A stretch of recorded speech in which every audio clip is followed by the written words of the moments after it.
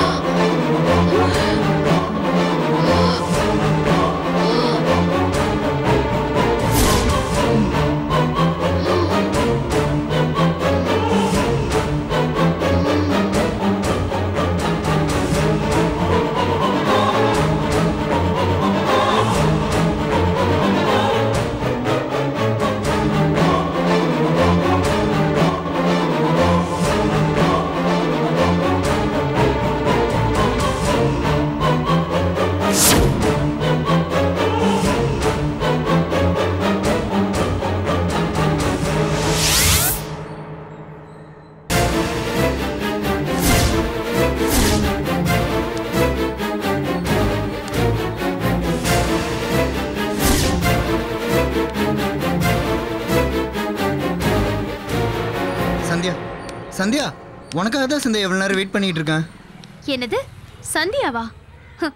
என் பேர் இன்னும் உனக்கு ஞாபகம் இருக்கா? விஜய் விஜய்னு அவ பேரையே தான் சொல்லிட்டு இருப்பேன்னு நினைச்சேன் ஏன் சந்தியா இப்படி பேசுற?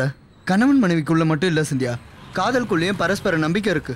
என் வாழ்க்கையில் உன்னை தவிர வேற எந்த பொண்ணுக்கு இடம் இல்லை சந்தியா. அது ஏன் நீ நம்ப மாட்டேங்கிற? ஆமாண்டா. நீ அவ கூட ஜாலியா ஜோடி போட்டுக்கிட்டு ஊர் சுத்துவ. ஒரே வீட்ல புருஷன் பொண்டாட்டி மாதிரி குடும்பம் நடத்துவ. ஆனா நீ இப்போ என்ன காதலிக்கிறேன்னு சொன்னா நான் நம்பணும். நான் என்ன முட்டாளா? ஆமாடி நீ முட்டாள் தான்.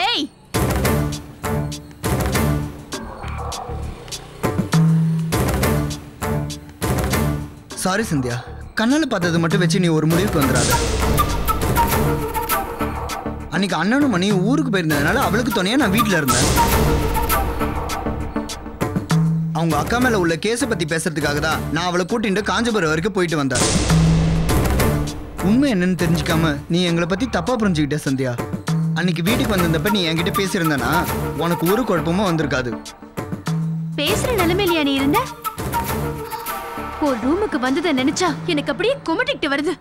ஐயோ சந்தியா அன்னைக்கு நீ பார்த்தது. எந்த விளக்கமும் தேவையில்லை. தப்பு செஞ்சுட்டு அதை மறைக்கிறதுக்காக ஒரு காரணமும் சொல்ற பாரு.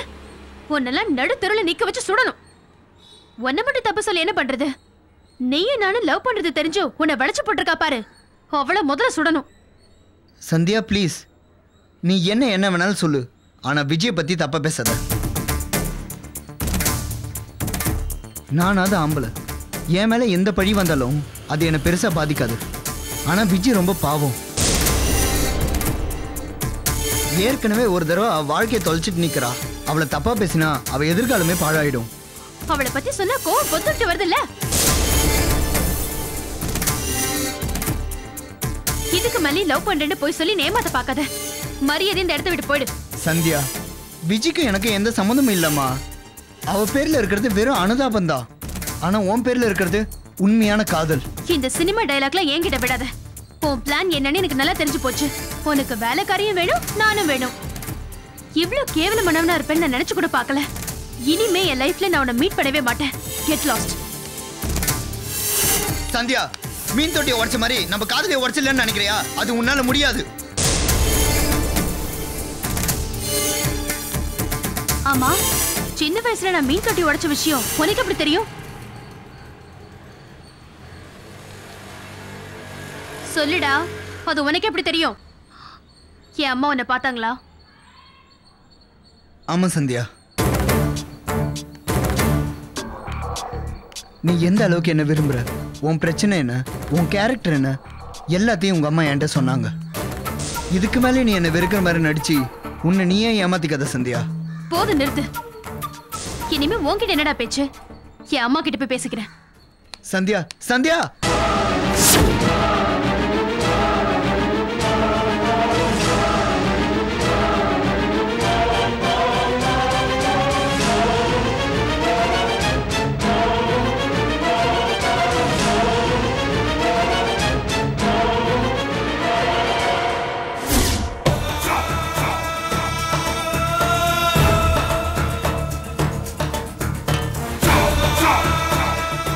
அபிராமிய கோவப்படுத்துற மாதிரி நான் எதுவுமே சொல்லல. இன்ஃபேக்ட் நான் அவகிட்ட ஒரு வார்த்தை கூட பேசல. நான் நிரபராதி என் மேல எந்த தப்பும் இல்லைன்னு அவ தான் என்கிட்ட புலம்பிக்கிட்டே இருந்தா. அவ அழறத பார்த்து எனக்கே பரிதாபமா போச்சு. ஆனா என்னன்னு தெரியல. திடீர்னு அவ அப்படியே மாறிட்டா. அவ முகத்துல தெரிஞ்ச வெறிய பார்த்ததும் நான் அப்படியே ஷாக் ஆயிட்டேன். அந்த ஷாக்ல இருந்து வெளியே வரதுக்குள்ள இதோ என்ன முரட்டுத்தனமா தாக்கிட்டா. She's dangerous very very dangerous அம்மா வலிக்குதா அம்மா. இல்லடா கண்ணா இப்ப பரவாயில்ல. ஏம்மா இதெல்லாம் உனக்கு தேவையா? அவளை பார்க்க போகாத போகாதேன்னு நான் தலைப்பாட அடிச்சுக்கிட்டேன். என் பேச்ச நீ கேட்டியா? உண்மையை வாங்க போறேன்னு சொல்லிட்டு தலையில காயத்தை தான் வாங்கிட்டு வந்திருக்க. நல்ல வேளை இந்த தடவை நெத்தியில சின்ன கட்டோட போயிடுச்சு. முன்ன மாதிரி பலமா அடிபட்டிருந்தா? கடவுளே நினைச்சு பார்க்கவே பயமா இருக்குது. எனக்காக வேண்டாம் அம்மாவுக்காகவும் வேண்டாம். அட்லீஸ்ட் நம்ம பையன் நவீனுக்காகவாவது நீ இனிமே இந்த மாதிரி ரிஸ்க் எல்லாம் எடுக்காத சரண்யா ஆம் சார் மேடம் ரிஸ்க் எடுத்ததும் ஒரு வகையில நல்லதுதான் நினைக்கிறேன். என்ன இன்ஸ்பெக்டர் அர்த்தம் இல்லாம பேசுறீங்க? இல்லைங்க மேடம் ஜெயிலுக்குள்ளேயே அபிராமி மேடமை தாக்கியிருக்காங்க. மேடமை கொல்ல முயற்சி செஞ்சதுக்கு இதை விட வேற ஸ்ட்ராங்கான எவிடன்ஸ் என்ன வேணும்? மேடம் ஸ்டேட்மெண்ட்டை வச்சு அபிராமி மேல இருக்கிற கேஸை ஸ்ட்ராங் பண்ணிடலாம். மேடம் மட்டும் கோர்ட்டுக்கு வந்து சாட்சி சொன்னாலே போதும். இப்போது நீங்க அவங்க கிட்ட ஒப்புதல் வாக்குமூலம் வாங்க பாருங்க. Okay madam. ஆனா சார் சொன்ன மாதிரி இனிமே எந்த ரிஸ்க்கும் எடுக்காதீங்கன்னு நான் உங்களை ரெக்வஸ்ட் பண்ணிக்கிறேன். குறிப்பா எங்க பாதுகாப்பு இல்லாம எங்க கிட்ட இன்ஃபார்ம் பண்ணாம வெளியே போறத கொஞ்சம் அவாய்ட் பண்ணிக்கோங்க மேடம். பாதுகாப்பு காரணத்துக்காக தான் நான் சொல்றேன். I hope you understand my concern எனக்கு புரியுது திவாகர். நான் யார பார்க்கணும் நான் யார பார்க்க கூடாதுன்னு இனிமே நீங்க தான் முடிவு பண்ணுவீங்கன்னு சொல்றீங்க. ஐயோ இல்ல மேடம் நான் என்ன சொல்ல வந்தேன்னா நீங்க எதுவுமே சொல்ல வேண்டாம் திவாகர். பர்சனல் வேலையா இருக்கிறப்போ என் பக்கத்துல செக்யூரிட்டி ஃபோர்ஸ் இருக்கிறத நான் விரும்பல. எனக்குன்னு ஒரு பிரைவேட் லைஃப் இருக்கு. ஒரு லிமிட்டுக்கு மேல தலையிடுறதுக்கு அதுல என் ஹஸ்பண்டு கூட உரிமை இல்ல. எனக்கு செக்யூரிட்டி வேண்டான்னு சொல்லியும் நான் எங்க போறேன்னு தெரிஞ்சுக்க நீங்க என்ன ஃபாலோ பண்ணிருக்கீங்க? I don't like that I am very sorry madam உங்களோட பிரைவசியை டிஸ்டர்ப் பண்ணுறது என்னோட நோக்கம் இல்லை ஆனால் இது உங்கள் செக்யூரிட்டி சம்மந்தப்பட்ட விஷயம். எதிரிகளால் உங்களோட உயிருக்கே ஆபத்து இருக்கு. அதனால தான் மிஸ்டர் திவாகர் ஒரு மாவட்டத்தையே காப்பாத்துற பொறுப்புல இருக்கிறவன் நான். என்ன காப்பாத்துக்க எனக்கு தெரியும். என் பாதுகாப்பை பத்தி கவலைப்படுறத விட்டுட்டு அபிராமி கிட்ட இருந்து உண்மையை வரவழைக்க பாருங்க.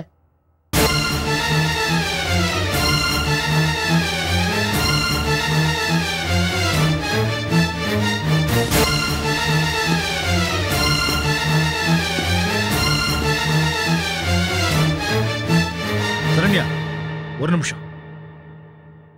என்ன ரவி? ஹாஸ்பிட்டல்ல இருந்து நேரா வீட்டுக்கு வராம எங்க போயிருந்த?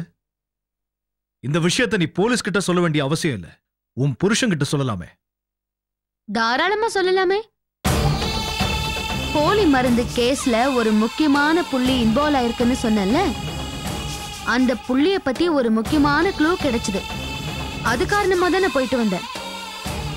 புரியுதுல? அம்மா எனக்கு தலைவலிக்குது. வனஜா கிட்ட சொல்லி எனக்கு ஒரு காஃபி அனுப்பி வைங்க. அம்மா நானும் வரேன்.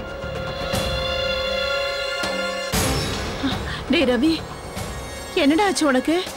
அவ சொன்னதை கேட்டது அப்படியே ஷாக் ஆயிட்ட. ஏதாவது பிரச்சனையா? ஒண்ணு இல்லம்மா. இவன் ஏதோ பெரிய வம்பல மாட்டிட்டு இருக்கான் போல இருக்கு. என்னன்னு எங்கிட்டயும் சொல்ல மாட்டேங்கிறா? ஏதாவது ஆபத்துனா எங்கிட்ட தானே வந்தாகணும்? அப்ப நான் பாத்துக்கிறேன்.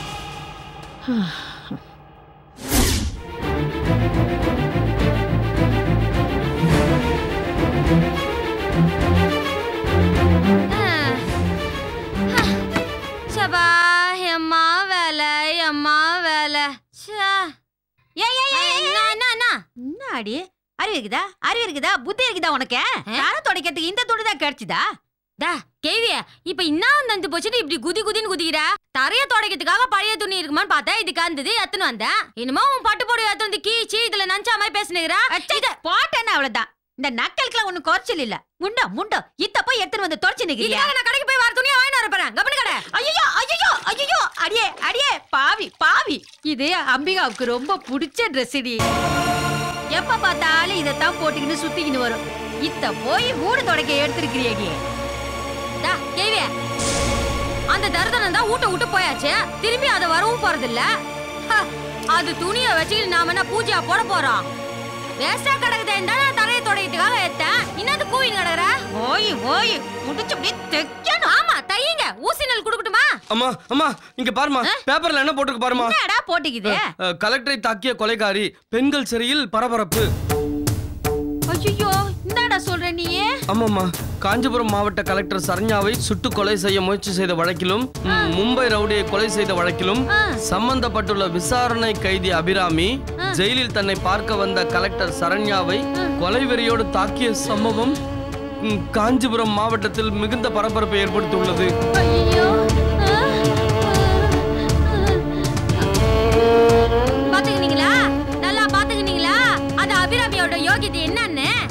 நரபுராது. ரொம்ப நல்லவனு. அவ பின்னாடியே சுத்தி நின்றீங்களே இப்ப என்ன ஆச்சு? நல்லா பேப்பர்ல வெட்ட வலிச்சமா போட்டாங்க பாத்தியா? அவங்க யோகியதை என்னன்னு? இனிமேட்டு அது பின்னாடி சுத்துறத விட்டுட்டு உருப்படுற வழிய பாருங்க. அப்பதான் இந்த ஊடும் டேய் வாணாம் வாணாம் விட்டுரு இதாண்ட பேசி டயத்தை வேஸ்ட் பண்றத காட்டுல வக்கீல போய் பாத்துட்டு வரலாம். வா. நில்லுங்க. இப்ப என்னத்துக்கு வக்கீல பார்க்க போறீங்க? அபிராமியை காப்பாத்துறதுக்கா? ஆமா. யோ உங்க ரெண்டு வச்சுக்கிறாங்க இதுல இருந்து தெரியல? அபிராமி எவ்வளவு பயங்கரமானவங்கன்னு. வாய் முடு. அந்த அபிராமி பொண்ணை பத்தி நீ தான் தப்பா நினைச்சுக்கின. மத்தவங்க மனசு நோவுற மாதிரி கூட அதால பேச முடியாது. ஏண்டி ஏன்? அது எப்படி போய் கலெக்டர் தாக்கி இருக்கோம்? அப்ப பேப்பர்ல போட்டுக்கிறதெல்லாம் பொய்யா? சரி கைவே நீ சொல்ற மாதிரி அவங்க இட்டு கட்டி எழுதிருக்காங்கன்னு வச்சுக்கோ. அம்மா பெரிய கலெக்டர் அவங்க போய் சொல்லுவாங்களா? மத்தவங்கள பத்தி எனக்கு தெரியாதுடி. ஆனா அபிராமிக்கா ரொம்ப நல்லவங்க. அவங்கள மாட்டி விடுறதுக்காகவே எவனோ இப்படி பிளான் பண்ணி பண்றானுங்கன்னு நினைக்கிறேன். ஏற்கனவே ஸ்கேன் சென்டர்ல அவங்க பையில துப்பாக்கி போட்டானுங்க. இப்போ இப்படி ட்ராமாலாம் ஆடுறானுங்க. இந்த நிலைமையில அக்காவை நேர்ல போய் பார்த்தாதான் என்ன நடந்துன்னு உண்மை தெரியும். அம்மா வாம்மா போலாம். ஆ சத்தம் வேலு நீ கொஞ்சம் வெளியில இதோ ஒரு நிமிஷத்துல வந்துடுறேன். இந்த போ போ. யோ நீ இல்லையா நான் சொல்றது கேளு.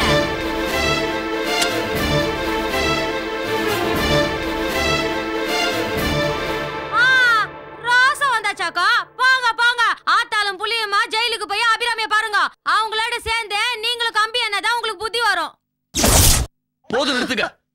என்ன பார்த்தா என்ன முட்டாள் மாதிரி தெரியுதா? சரண்யா மேடம் ஒரு பொறுப்பான கவர்மெண்ட் ஆபீசர் அவங்க இப்படி செஞ்சாங்கன்னு சொன்னா ஒரு குழந்தை கூட நம்பாது.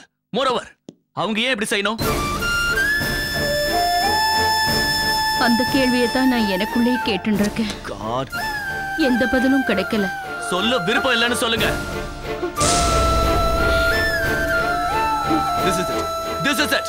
உங்க முகமுடிய நீங்களே கிழிச்சுக்கிட்டீங்க.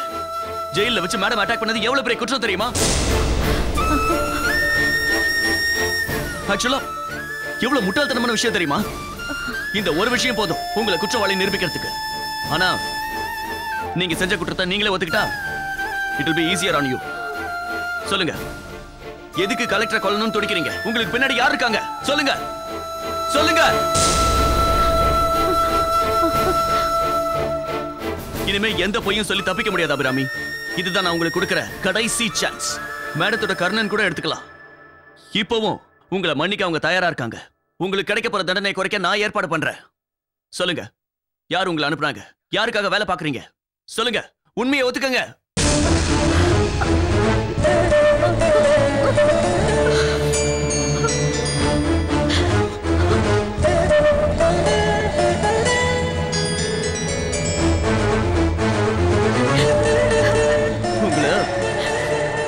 யாராலையும் காப்பாற்ற முடியாது.